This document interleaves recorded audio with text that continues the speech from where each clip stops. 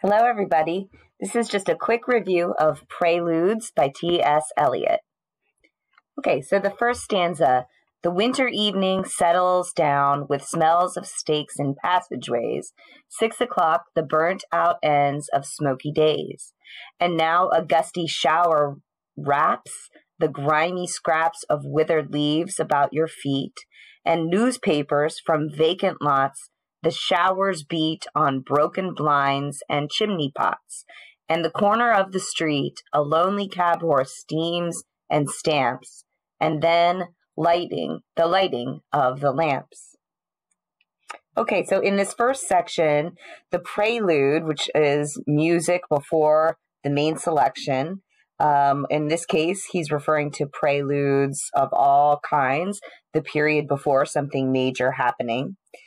The first prelude of the poem is set on a winter evening in a city at a time of day when people are returning home from work during a rainstorm. It's dirty, pungent, it's a lonely urban place.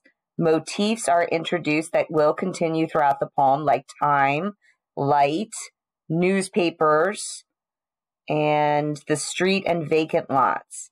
The cozy domesticity and occasional rhyming meter is disrupted by images of desolation and routine depersonalization. Okay, section two.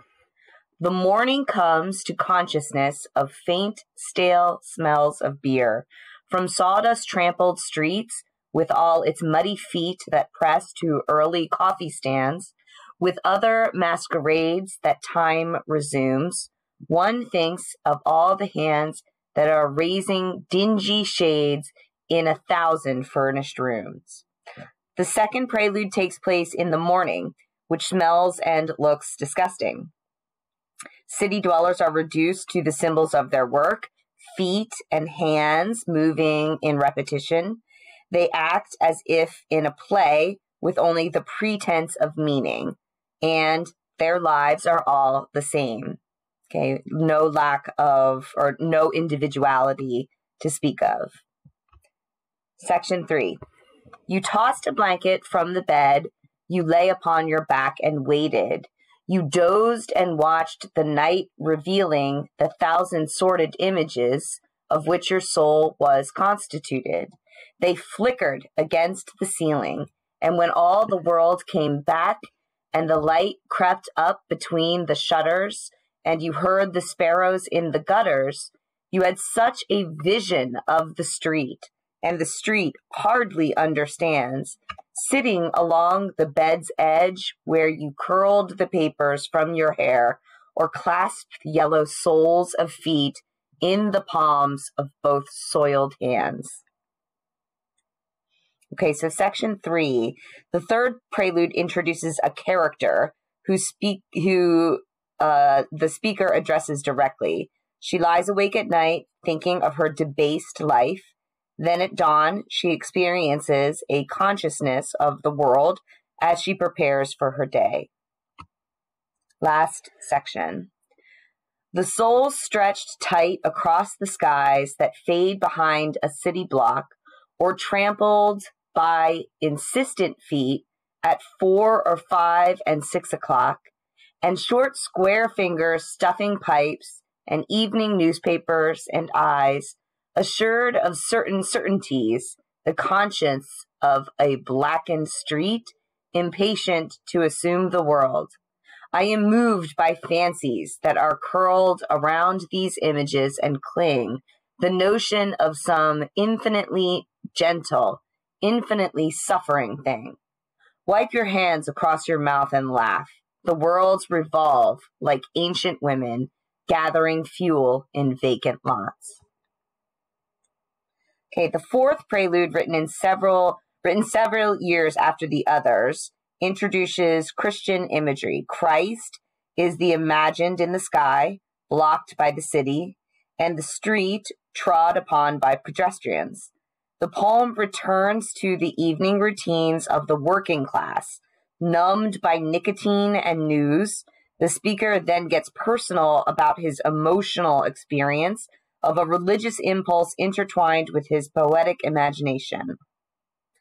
Then he dismisses these fancies with an embarrassed gesture and ends with an image representing a spiritual void. Okay. And, and the end here wipe your hands across your mouth and laugh.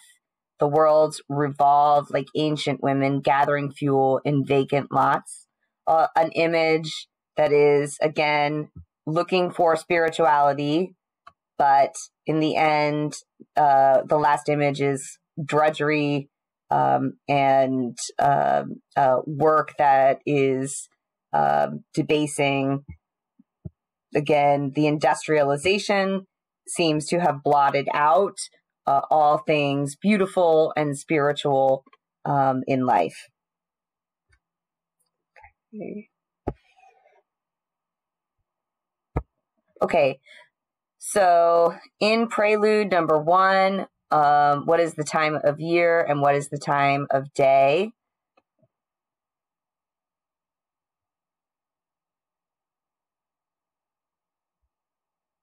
Okay, so the time of year here is the winter in the evening. Okay, the time of day is when people are returning home from work. In Prelude 2, what is taking place in a thousand furnished rooms? Okay, so city dwellers are doing their work. They are using their feet and hands. So, okay, um, raising dingy shades. Okay, all uh, just manual labor, the drudgery of everyday life. Okay. Three, what did you hear in Prelude 3 when all the world came back?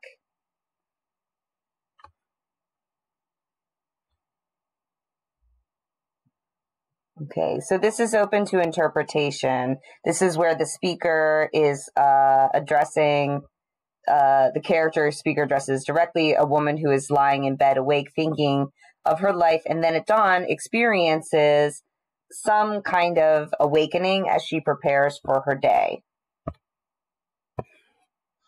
Okay, so you tossed the blanket from the bed, you lay upon your back and waited, you dozed and watched the night revealing the thousand sorted images of which your soul was constituted. They lay flickering against the ceiling and when all the world came back and the light crept up between the shutters, you heard the sparrows in the gutters. You had such a vision of the street, and the street hardly understands sitting along the bed's edge where you curled the bed's edge where you curled the papers from your hair or clasped the yellow soles of feet in palms of both soiled hands.